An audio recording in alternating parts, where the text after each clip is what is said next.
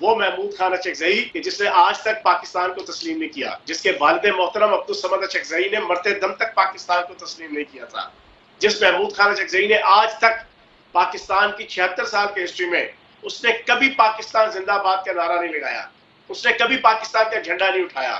جو برملا پاکستان کے اندر دریائے اٹک سے لے کے افغانستان تک صوبہ افغانیہ کی بات کرتا ہے، برملا، جس کو اسمبلی کے اندر ایک دفعہ پاکستان کا جھنڈا پکڑایا گیا تو اس نے کہا میں نے نہیں پکڑنا۔ اس سے کسی نے انٹرویو کے درمیان پوچھا کہ پاکستان زندہ باد کا نعرہ لگائے اس نے کہا میں نے نہیں لگانا۔ اگر پی ٹی آئی کو یہ شخص ہی ملا ہے، تحریک تحفظ آئین پاکستان کے لیے، تو پھر اللہ مالک اور تازہ پالک، ان کا یہی حال ہے۔ پہلی چیز۔ دوسری چیز یہ ہے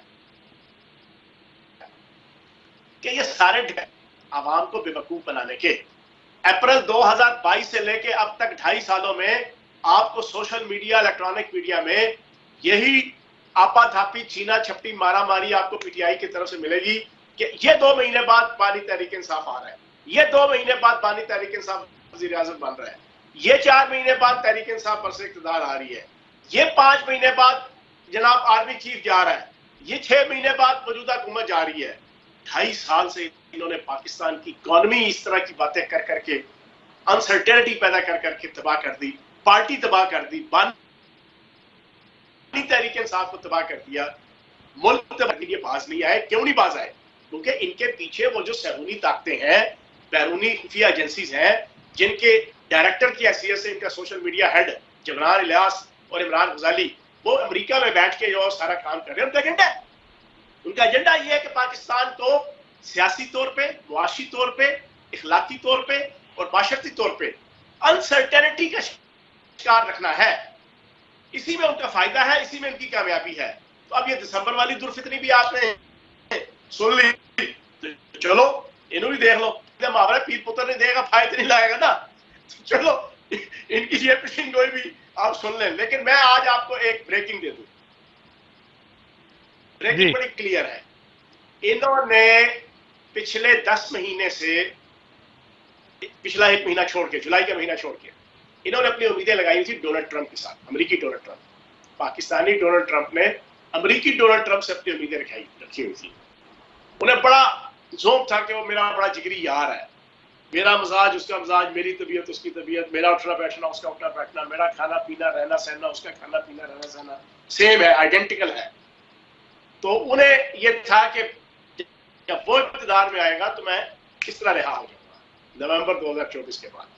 اور انہوں نے ہر بندے کو یہ کہا پاکستانی ڈونلڈ ٹرمپ نے، ہر بندے کو پچھلے ایک سال سے، جو جاتا تھا، بہنیں گئی رشتے دار گئے، وکیل گئے، رہنما گئے، صحافی گئے، میڈیا ٹاک کی سب کو اوپنلی کہتے تھے کہ نومبر دو ہزار چوبیس میں ڈونلڈ ٹرمپ آئے گا، تو میں جیل سے باہر آ جاؤں اب مہینہ بیس دن ہوئے ہیں، ڈونلڈ ٹرمپ کی جڑوں میں بیٹھ گئی ہے کملا ہارس اس نے ایسا جادو جگایا اپنی مسکراہٹ کا، اپنی پرسنالٹی کا کہ امریکی تو سارے اس کے گرویدہ ہو گئے ہیں۔ اب جو سروے آ رہے ہیں، خواتین ووٹ بینک ہو، سفید سفید فارم ووٹ بینک ہو، سیاہ فارم ووٹ بینک ہو، یوتھ کا ووٹ بینک ہو، سارے کے ساروں میں کملا ہارس آگے جا رہی ہے۔ اب امریکی ڈونلڈ ٹرمپ نے پاکستانی ڈونلڈ ٹرمپ کو میسج بھیجا ہے جاگتے رہنا ساڑھے تینا رہنا سمجھ گیا ٹھیک اب لیکن پاکستانی ڈونلڈ ٹرمپ کو سمجھ آ گئی ہے اب وہ ہاں جی چوہان صاحب، اس کا مطلب یہ ہے کہ جو تحریک انصاف کے لوگ یہ کہہ رہے ہیں کہ بانی تحریک انصاف گفتگو کرنے کو تیار ہیں اور پاور کوریڈور سے گفتگو کرنے کو تیار ہیں اور وہ یہ کہتے ہیں کہ رول آف لا کے اوپر بات کر لیں، باقی فوج بھی ان کی ہے، معاملات بھی ان کے اور وہ ہر طرح کے، اور خواجہ آصف صاحب کہتے ہیں کہ میں یہ دیکھ رہا ہوں کہ وہ انقریب جو ہے، وہ پاور کوریڈور کی شخصیات کے پاؤں پڑیں گے یا ان سے ڈیل مانگیں گے۔ آپ کے پاس کیا شنید ہے؟ کیونکہ پنڈی میں خبر تو بہت ہوتی ہے جی۔ بھائی پاؤں پڑے ہوئے ہیں۔ میں راہل پنڈی بیٹھا ہوں۔ اب اب اب اس میں کون سی جناب آپ بتائیں کوئی سیکرٹ رہ گیا ہے؟ آپ کی طاق کے لیے عرض ہے۔ پچھلے سال بارہ مئی کو وہ باہر آئے۔ پانچ اگست کو پکڑے۔ تین مہینوں میں۔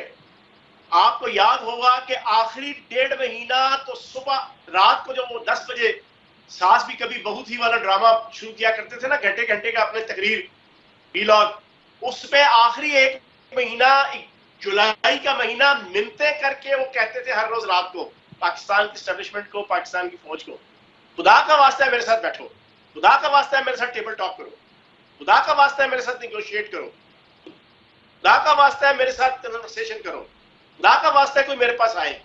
کوئی نئی چیز تو نہیں بتا رہا؟ یہ تو پاکستان کیا پوری دنیا نے بچ بچے بچے نے ان کے سوشل میڈیا پہ پڑھی ہوں گی ساری۔ تو بھائی وہ ملتے ترلے کرتے رہے، لیکن اس سے پہلے کے جو اپریل دو ہزار بائیس سے لے کے نو مئی تک کے ٹائم تھا، ہر صحافی، ہر اینکر، ہر تجزیہ نگاہ ہر پولیٹیکل پارٹی ہر نامی گرامی بندہ ان کی ٹھوڑیوں کو ہاتھ لگاتا رہا۔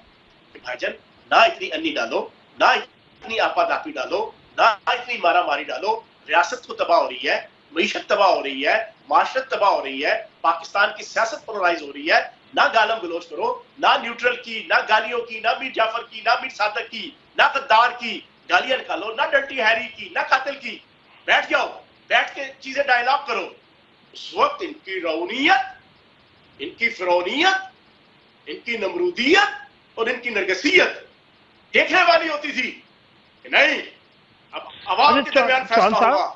اب عوام فیصلہ کریں گے۔ تو جناب، بات یہ ہے، انہوں نے ٹرین مس کر دی۔ وقت تھا۔ ٹائم تھا بیٹھنے کا۔ لیکن اب ٹائم گزر گیا۔ اور حد سے زیادہ آپ نے حرکتیں کر دی ریاست کے خلاف، اداروں کے خلاف، عدالتوں کے خلاف، پاکستان کے خلاف۔ تو جناب، اب چیزیں بک تو عدالتوں کے اندر اور پورے معاملات ملٹری کورٹس کے اندر۔